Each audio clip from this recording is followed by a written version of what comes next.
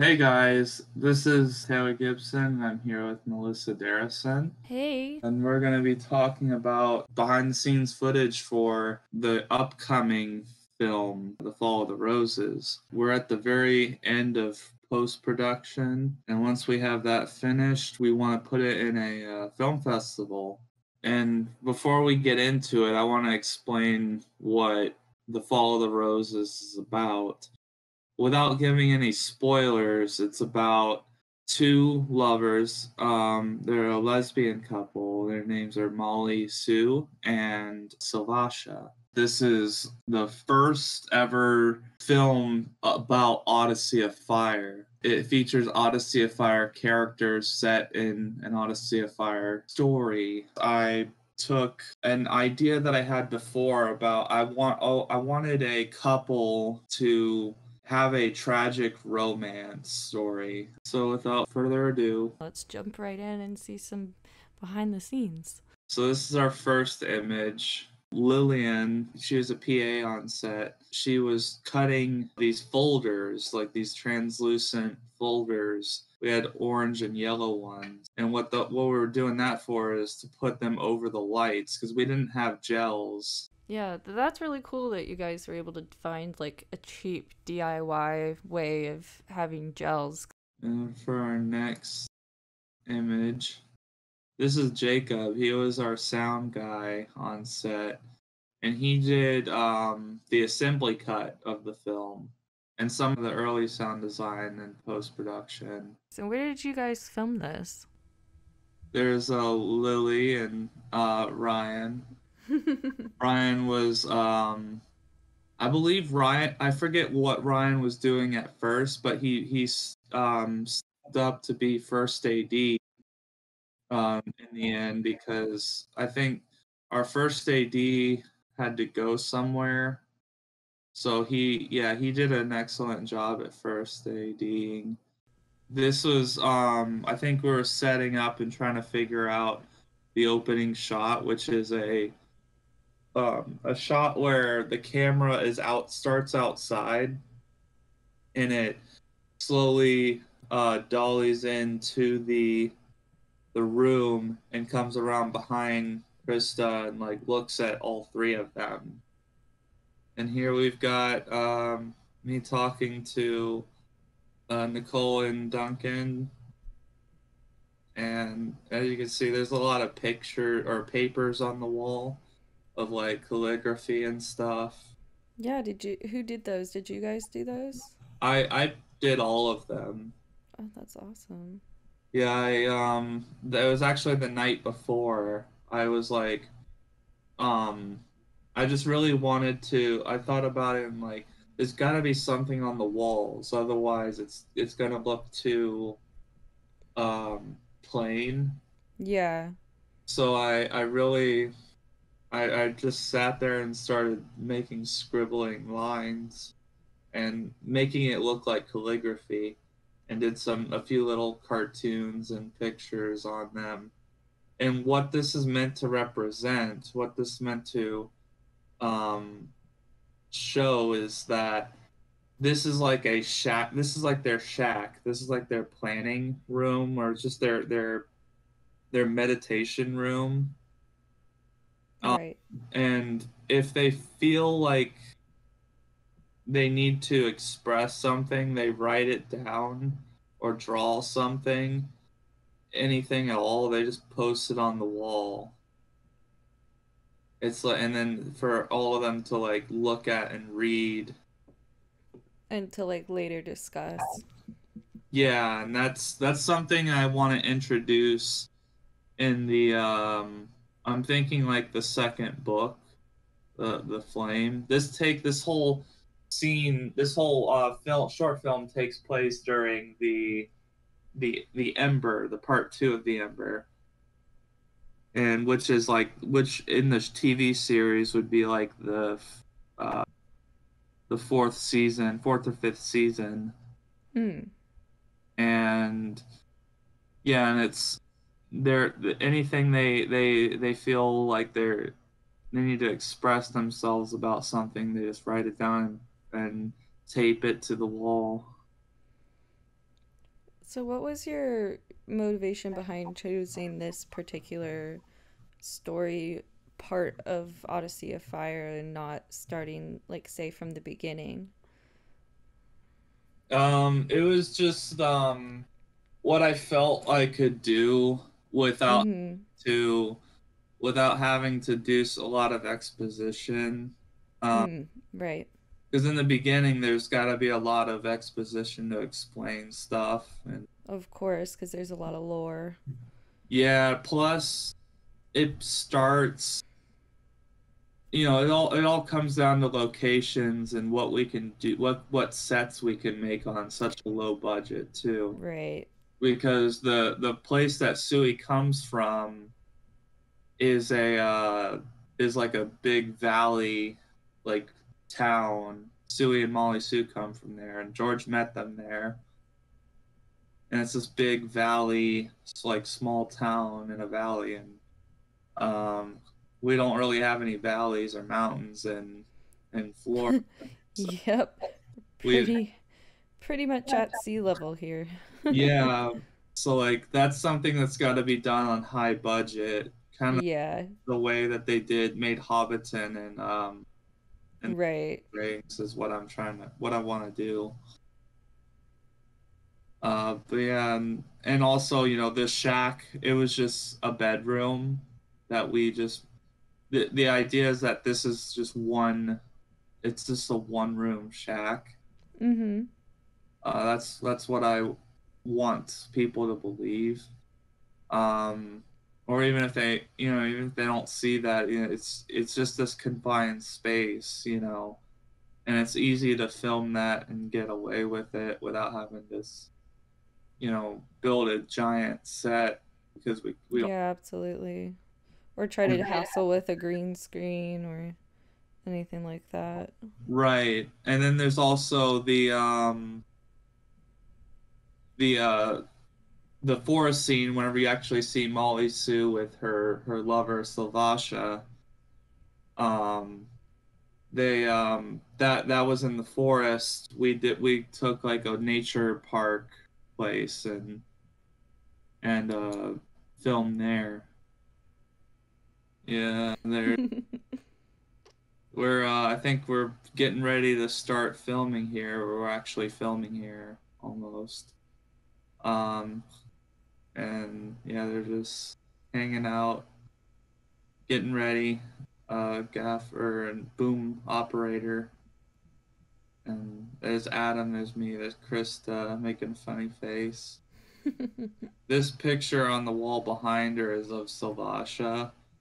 And what I did to actually make that picture is I I took a um a prof I think it was uh my fr- the the actress who plays her it was her profile picture on Facebook and I just copied the the same pose and everything and made her pink and with darker hair and um the the ears and stuff this next image, oh, you can see Jessica, our script supervisor. That's Shannon over here. Um, she's she wasn't uh, in this scene, uh, but the, you know this is her house and all that. This is her bedroom, so she she was there to help any way she could, and she, what sh we had her doing as um because we didn't have the, the all the lines for the for the for the radio, uh, she would basically read the script, the lines on the radio. And that way, that the actors had a way to react to what was being said, Yeah. and we just uh, we just didn't use any audio for for those shots because they weren't really saying anything anyway. Right. Um, they were just listening. So yeah, that, that was that was fun. But here, oh yeah. By the way, look at our slate. Our slate. Is that a whiteboard? yeah. And what we did for sound, what we did for sound is we clapped. That's great. Oh, this is through the Ooh, window. through the window. Yeah, the, the window was shut at this point. Um, yeah, it's through the window. All the crew hanging. Yeah, it looks like a paranormal photo or something. Yeah, it does. There's Krista. Yeah, her hair actually looks pretty reminiscent of the drawing that you had in the podcast. Yeah, it's um, but actually her hair, um, we tried to make it a little bit better, like with the with the colors. Like it is a little too blonde for for what I wanted, but the reason why it didn't turn out so well as well as I wanted it is just because of the uh, we were using real dye and this is a wig, so Yeah, I I definitely think though that you can still see the red undertones and like the, yeah, the color grade is gonna help even more because everybody's gonna kind of glow orangey, so oh yeah, the color. that'll help even more so. And you can see it's 8:45 or 8:46. Look at that cool timestamp. oh, and you can see uh, uh, Molly Sue up here and down there. She's like looking down. The painting in the background. Yeah. There's me and the two actors, Sue and George. nice group shot. Yeah, yeah, there's us.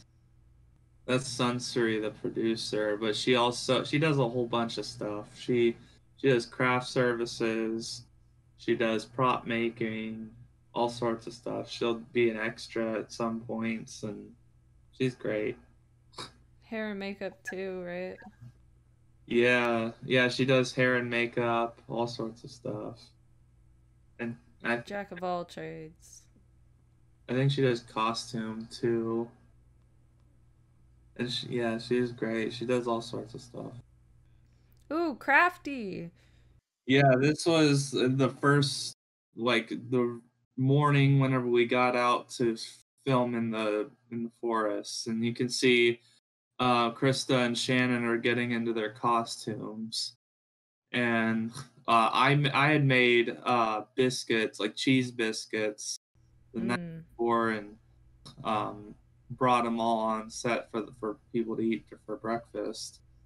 And we also had a bunch of other stuff. We had like coffee. I oh yeah, I brewed. What I did is I brewed all that coffee, and then I put it in the fridge.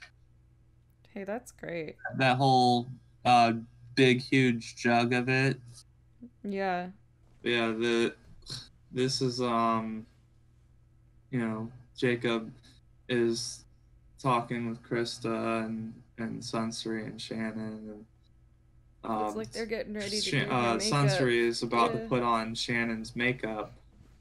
See, she's make. Oh yeah. So uh, one thing is, um, uh, we tried to put the makeup on her hands, but it rubbed off after time. So one thing we're gonna do in post production is make her fingers and hands more pink. Ooh, getting her ears on. Yep, we got the the elven ears. Krista got to join and help her out. too. Aw. Oh, and there's all it's almost done. Or Yeah. It looks really good and she really does look like um the drawing. Like it, it came out really really cool. yeah, I'm, I'm really happy with it. Reading the scripts. yeah, Got a fan up. A got a little this kind of electric fan. Here you can see them bonding.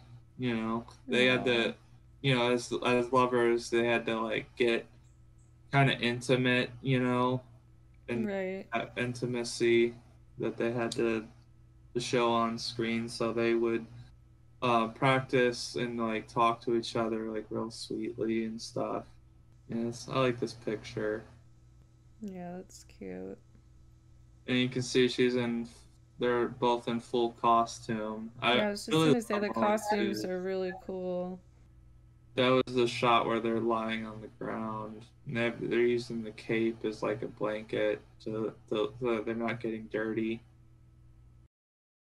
Yep, and that's that's all the um the images for the fall of the roses behind the scenes i can show you guys a sneak peek i think i'm just going to show this clip this is unedited you know there's no motion tracking to it or anything.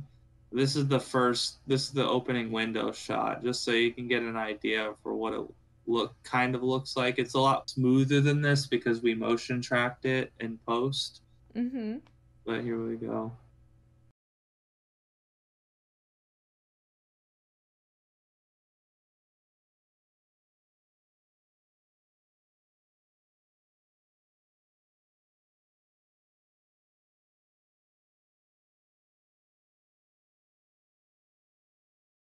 That's that's the opening shot. No, it's really it's really cool to kind of see these behind the scenes looks. I really enjoy that aspect of filmmaking. It's getting to see kind of how everything was done. Yeah, that's our uh, that's our behind the scenes episode for today. Next time, um, we'll go over another one of my older films, possibly, or maybe maybe another a newer one like Game of Revelation. Yeah, well, well, you'll be able to see where our, most of the clips from the channel trailer came from, and um, kind of get a better idea of the work that you know you've put out so far and are kind of planning to put out. Thank you all for watching this and I hope you and you enjoy the future episodes. I hope you enjoyed this one and so uh, one thing I wanted to tell you guys is that there if you go on to Patreon, I'll put a link in the description of this video. Um, there's there's uh, going to be content on there that you won't get on regular just regular the regular YouTube channel. You can see some of my short films that I that I'm wanting to monetize. I like the philosophy like, you know, if you can get a dollar from a hundred people, you have a hundred dollars. You know what I mean? Yeah, and I know times are tough right now, and you know, just you watching yeah. and supporting is really helpful and obviously you know there will still be content available for free like right we're gonna oh, still be putting out you know youtube videos and we'll even be releasing some of the films for free so don't worry you will still get to see you know the things we've been talking about. But um, you know if you can it'll be a kind of a fun incentive to see a little bit more if you want to and yeah, I think yeah, it's a great it, way to kind of feel like you're you're kind of making a direct contribution to, you know, a fan base in a sense too. yeah, it is, I don't know, grow a grow a community. Yeah, it's just something, you know, if you don't have the money, you know, you know, we understand. So but yeah, we we look forward to having you guys and um, keep keep subscribing, keep liking the videos. You know, even if you can't donate. You know. Yeah, and, and definitely comment. We'll we'll read all of them, and oh yeah, we'd love to to hear from you guys and hear. Uh, what you guys think of what we've been putting out and if you have any you know suggestions or if there's more that you'd want to see let us know and we'll uh, we'll work on that as well awesome yeah. All right that's it. Yeah thank you for watching. Thanks everyone for watching. stay safe. For the Fancore. For the Fancore